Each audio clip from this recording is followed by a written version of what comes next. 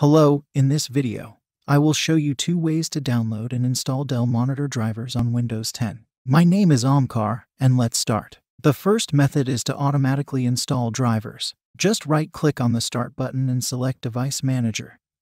There click on the tiny arrow next to Monitors. After that, right-click on the monitor and select Update Drivers.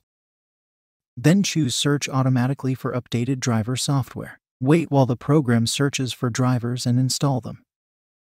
The second method is to install drivers manually from Dell's website. Go to the link in the description. Here you can search for your monitor in the search bar.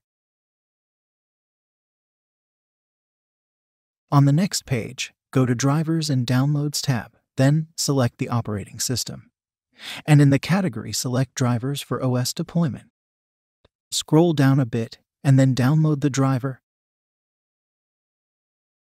then all you have to do is run the executable, and you are done